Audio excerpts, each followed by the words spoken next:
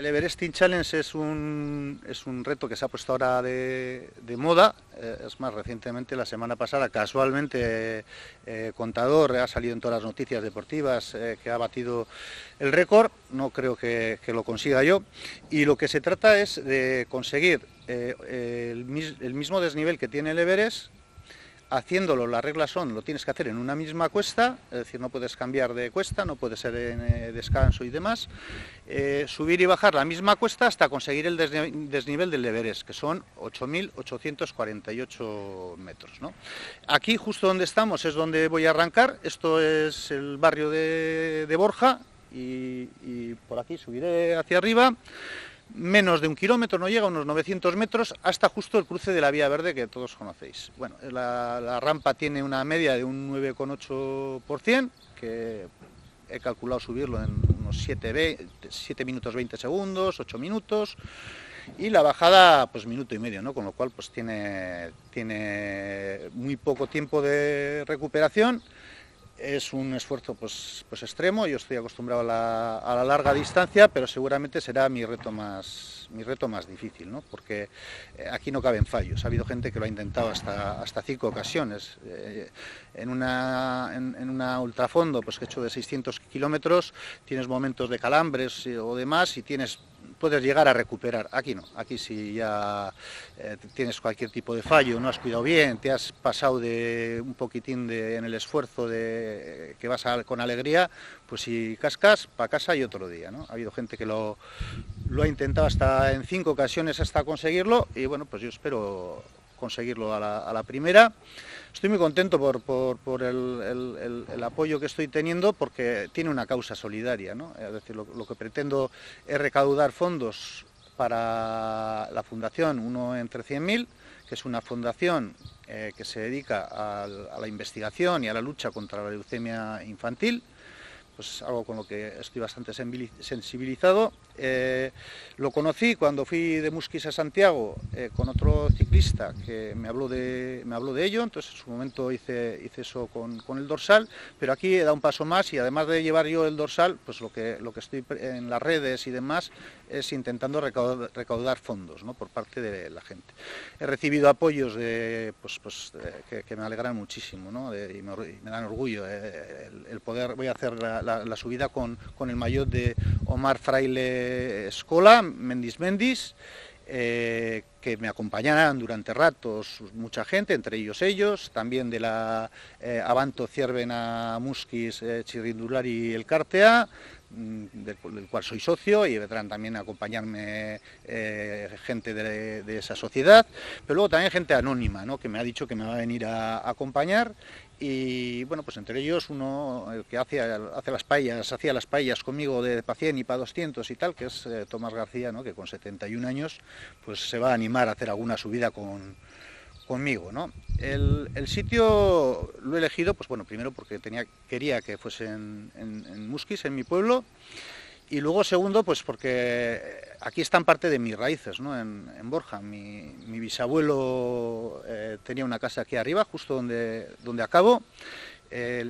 hay un pozo que se llama el Pozo Bayoneta, nosotros nos, llamaban los, los Bayoneta por la, por la, época, la, la guerra carlista, y por parte paterna, eso es por parte materna, y por parte paterna, mi, abuelo, que fue un pelotario muy famoso, chiquito de Somorrostro, pues también eh, tiene origen en el campo, ¿no? Entonces, pues bueno, pues volver aquí a, este sitio, pues es también un poco especial, ¿no? Y, bueno, pues sobre todo animar a la gente el que quiera acercarse a acompañarme, pues se lo voy a, se lo voy a agradecer pero sobre todo animar a la gente que entre en, el Facebook que tengo, eh, Alberto Ildia Valles, donde podrán encontrar eh, pues el, cómo, cómo, colaborar y cómo, cómo hacer eh, donaciones, ¿no? van a ser absolutamente anónimas o directamente la página de uno entre 100.000.org. Alberto, para no romper, para no tener esos calambres, me imagino que no vas a llegar aquí el viernes y te vas a poner... Esto ha, llevado un, entrenamiento previo, ¿no? ¿Cuánto tiempo? ¿Qué, has hecho para prepararte? Bueno, pues la verdad que ha sido difícil, ¿no? Porque llevaba un, entrenamiento, tenía claro que este año me iba a dedicar al ultrafondo, iba específicamente, aparte de hacer alguna otra carrera, Y, pues sí, eh, ya para enero, febrero estaba haciendo rutas de 400 kilómetros, con menos peso que ahora, y me rompió mucho el, eh, claro, en este tipo de, entrenamiento me rompió mucho lo que ha sido el confinamiento, ¿no? Pues pasar de hacer lo más... He hecho rodillo, he llegado a hacer la quebrantahuesos en rodillo, pero no es lo mismo, ¿no? Máximo nueve horas que entrenamientos aquí que te requieren, pues he hecho hasta 30 horas. He estado en, la bicicleta, tienes que hacer entrenamientos específicos de noche, pues para conocerte, hay que conocerse... Esto lo que te da es conocerte mucho el, el cuerpo, ¿no? Aparte de los datos que te dan, vatios, pulsómetros, conocerse el el, cuerpo, elegir la, eh, conocer el ritmo. El otro día entrené pues aquí concretamente 11 horas y media, pues para conocer el ritmo que debía ser el, el adecuado, que es ahí donde puedo fallar, pues animarme con gente que me venga a acompañar estar con frescura, porque yo, por ejemplo, esto lo tengo subido en cuatro minutos y medio, y estamos hablando que lo tengo que subir casi en el doble, es decir, tengo que ir con el freno echado en, en esos momentos de alegría, porque si no, pues eh, cascas, ¿no? Y luego, pues muy importante, eh, eh, la logística, ¿no? Y en esto, pues, pues, y, la seguridad es importante, porque bajas de noche, pueden subir y bajar coches, y, bueno, pues tenemos en Musquis un, equipazo, que es eh, un lujo, que es eh, la agrupación de voluntariado de protección civil, que están en todo, ya la verdad no los conozco desde cerca, pero, pero la verdad que pues encima es un, orgullo especial el que, colaboren conmigo, ¿no? Y van a estar pues todo el tiempo, desde, desde las 5 de la mañana hasta la hora que termine, pues eh, van a estar cubriéndome el evento, lo cual tranquilidad para mí, tranquilidad para la gente que me acompañe y, bueno, pues no tengo palabras para, agradecerles. Yo creo que ya se han ganado durante esta pandemia el reconocimiento de este pueblo y, lo que sí pediría a la gente es eh, que les hagan caso cuando estén, que se acuerden del trabajo que han hecho y que les traten con respeto, ¿no? que, es, que muchas veces se nos, se nos olvida. Para cumplir ese desnivel que tiene el Everest, ¿cuántas veces vas a tener que subir y bajar? ¿Y cuántas horas le calculas que te va a llevar este reto? Bueno, eh, hay una cierta controversia porque la web de Everesting Challenge, la propia web, tiene una calculadora para que tú certifiques y sepas cuántas cuántas vueltas, digamos, necesitas en ese segmento. ¿no? Estos son segmentos, segmentos de Strava, y, tú introduces ese segmento y, te calcula la altimetría y, demás. Entonces, según el, Everesting Challenge, eh, serían 95 subidas las que tendría que, hacer para, lograr los 8.848 metros. Según mi ciclocomputador, mi Garmin, eh, serían más, serían 115. Entonces hay esa diferencia pues si me quedan fuerza, por si acaso intentaré hacer 115. Si no me quedan, pues, pues haré lo que dice Berestin Challenge, ¿no? Pero, eh, ¿Quién, te lo, controla? ¿Viene algún jurado? ¿Cómo se controla que, has cumplido el reto? Eso lo, eso tienes que certificar a través de, lo puedes certificar con fotos. Voy a tener eh, también eh, reportaje gráfico que lo va a hacer mi hija, que va a estudiar Bellas Artes y es una artista, y, bueno, pues mi familia va a estar toda la noche apoyándome y vamos a poner un cartel que nos deja el Club Pelotazale Barbadún, donde se ponen los tantos. Y yo que he sido pelotari, pues, pues me hace mucha ilusión que lo he usado muchas veces, ¿no? Ese, ese contador, porque claro, yo no puedo en la cabeza contar ni estar mirando, yo tengo que estar concentrado, concentrado, concentrado, ¿no? Y eh, lo que se hace es a través de ese segmento. ¿no? Eh, hoy en día con los ciclocomputadores te marcan el, el, segmento, tú lo envías allí, ellos introducen el segmento y les va a decir con, eso, con, ese dato que va a la nube, eh, les va a decir cuántas veces ha subido y si, por ejemplo, lo que antes os comentaba, aquí justo en esta línea inicia el segmento. Si yo eh, un paso atrás diese y, no, y no llegase a pasar ese segmento, eh, no me lo contarían. Entonces tengo que, por eso tengo que ser muy cuidadoso eh, y, por eso he afinado mucho para, ver dónde empieza, dónde acaba, mm, para no quedarme corto, digamos. Es decir, mm, dan un metro más no pasa nada, pero un metro menos sí pasa, que no te lo suma. Alberto, ¿hay alguien más de aquí, de la zona minera, de la margen izquierda, que haya intentado este reto?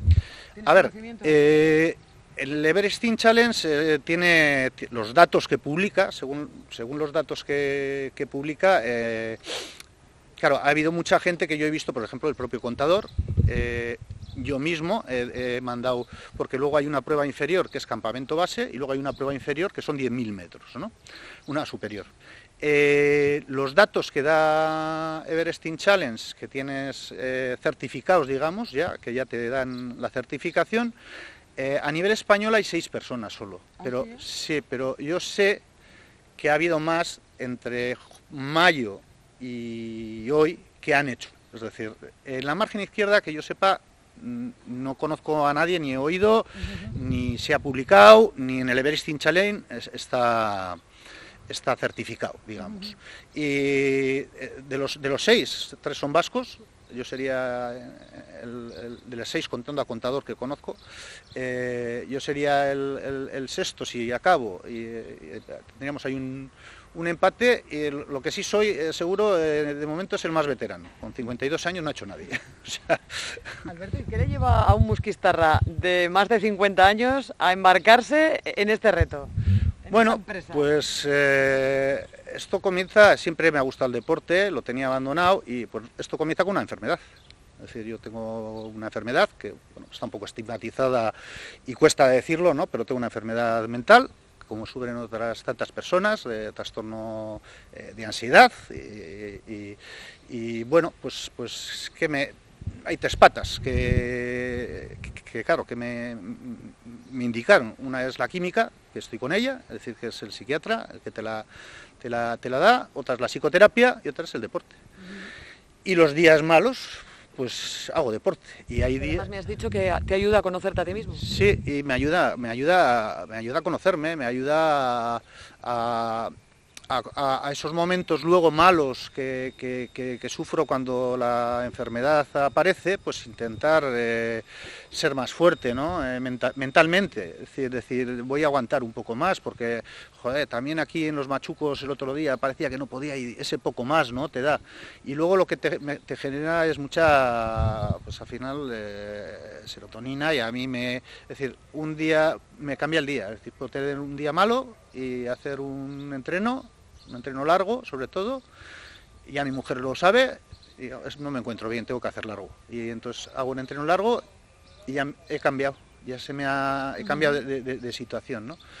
Y pues desgraciadamente son, son enfermedades que digo que además de estigmatizadas, pues están por parte de, las instituciones muy poco tratadas. Es decir, hay más de el doble de muertes por, depresión y por trastornos de ansiedad que accidentes de tráfico y no hay ni una campaña de cómo tratar a una persona con esos síntomas. Es decir, nadie en mi casa sabe qué hacer. Pues eh, lo más que te dicen, joder, lo que tienes que hacer es animarte, ¿no? Yo siempre pongo el ejemplo, ¿no? Pues alguien que tenga eh, mm, pues una neumonía, y ¿qué te, ¿qué te pasa? Una neumonía. tú lo que tienes que hacer es animarte, ¿no? Pues para nosotros es más o menos lo mismo.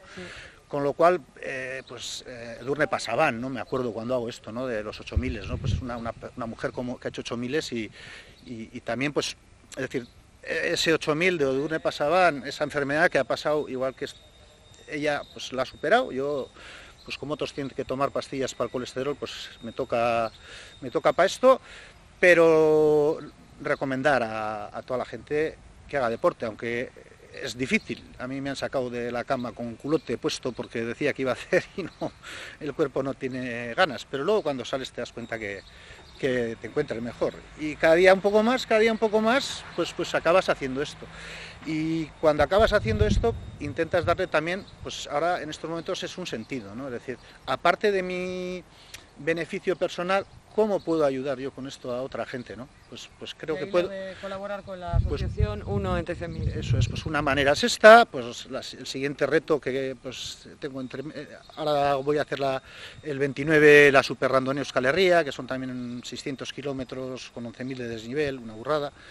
Y tengo en mente, se ha suspendido la QH, que era el 25 aniversario que le hice por primera vez cuando era un crío, y, tengo en mente pues como sustitución pues hacer desde Musquis a Tarifa de, punta a punta, ¿no? Pues bueno, pues, no sé si irá para uno entre 100.000, pero desde luego eh, que mis pedaladas tengan un sentido eh, solidario ¿no? y de, de, aportación a alguien, incluso a la aportación a la gente que tiene enfermedades como yo, que vea que, que, que, esto aporta ¿no? y que, se anime a, hacerlo. Animarte mucho a partir del viernes aquí a las 5 de la tarde, que se te haga la cuesta lo más liviana posible. no pensar, eso, lo que, la clave está en no pensar, porque si cuando vas una vez y subes la primera vez, lo duro que es, eh, te acuerdas que te quedan 94 veces por subir, eh, te, eh, dices me voy para casa. Entonces la clave está en no pensar y disfrutar.